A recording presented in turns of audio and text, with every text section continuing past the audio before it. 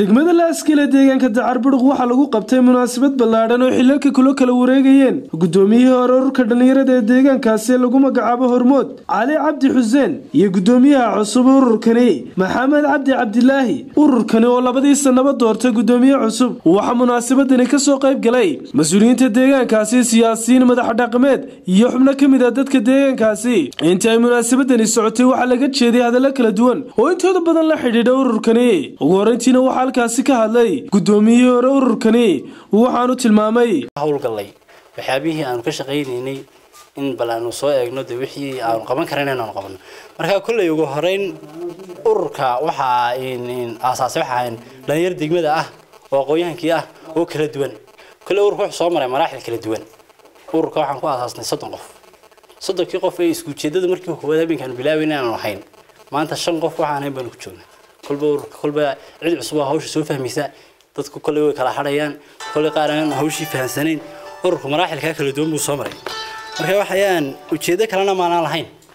Ee waxay ahaydun degmadii waa degmo ballaadhan horumar bay u baahan tahay bal dhalinyar nadiif ah oo fikira haysa oo haddii aanay kharashaad helayn bal cid ay la kaashatay wax kala tahayba horta dhalinyar fikir haysa oo meel ku midaysan oo ujeedo u wada socota in la hela bay ahayd marka kolley alxamdulilaahi rabbi alcaalamiin ilaahay wuu noo hirgeliyey ururka wuu hirgalay urur sharci labuu noqday urur wixii awooddiisa ah degmada inuu ka taro ku guulaystay buu noqday.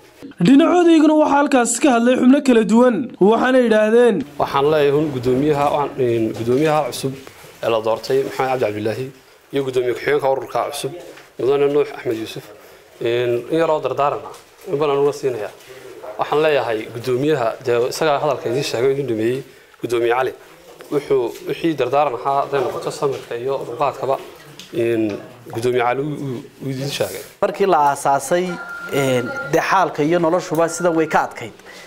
Halkan iminka soo yar gaadheen iyo dadaalkan badanay soo sameeyeenna waxay sababtay nuuxoo dee gudoomiye ku-xigeenna maamul ku-xigeenkii sare iskuulka magaaladiisii jooga cali iyo ardaydii meesha ka soo baxdaya gudoomiye ku-xigeenka horo isna ardaydii meesha ka soo baxday kala wareegayo wixiiya macnihii waxaad moodaa inaynu hooygii tacliinta inaynu iminka ku yar dhowdhownahay weyaan cidda kalena inay ku raacdo. Qofkii aan waxba la qaban karayna inuu haatan dhiirigelin la yimaado. Wuxuu yidhi hadraawi nin la yimid dadaalkii anigaa wax ugu dara. Marna waxaan daboolaa xubnihiisa darida leh hadday wax ka yara qaloocdaanna anaa u yara hagaajiya. Haddii uu dadaal la yimaadana anigaa wax ugu dara. Boqolkiiba boqol qof saxan heli mayno qof boqolkiiba boqol saxan heli mayno. Laakiin waxa weeyaan qofku intuu saxo qofku intuu saxo waa inaan wax ugu darnaa. Aad iyo aad runtii ugu mahad celinaa gudoomiye cali intuu xilka hayay dadaal badan buu kolley geliyey. Waxaana rajaynaynaa kolley annagoo aan lafteeda aan ka mid ahay dee maamulka cusub. Insha allah halkaanu ka sii wadno. Waxaan ku dhahdaa marxaladuu soo maray waa laga warramay. Marxaladda imika loo gudbiyo waa laga warramay.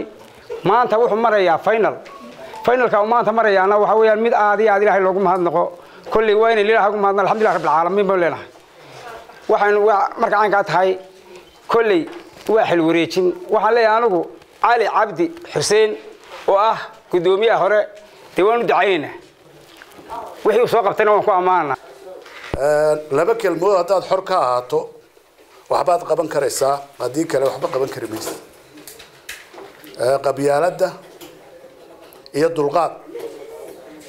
Yaa intaa haddaad xor ka noqoto waxbaad qaban karaysaa haddii aad intaa xor ka noqo waxba qaban kari maysid. Dhalinyaradan kale waxaan ku waaninayaa. Waxaad tihiin ubixii dalka u soo kacayaa tihiin hadhowto kuwii dalkan bedelay labada gudoomiye gudoomiyihii hore iyo kan cusub oo maanta halkan inagu wareejinaya iyaguna qalab waxbarasho ay ugu talagaleen iskuulka hoose ee dhexe.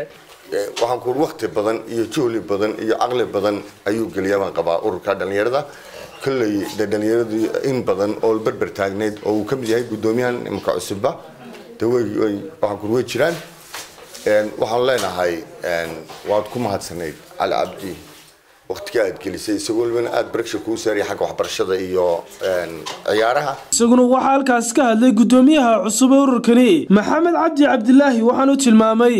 Ugu dambayntiina wuxuu gudoomiyihii hore ururkani hormood halkaasi ku wareejiyey bugaag iyo agab kale oo intii xilka hayay u hirgalay iyo siday hawshu u soconaysana qofku jooga maan ahayo markii hore baa dhinac haaneedkiisa hayay. Iminkana hawsha halkii.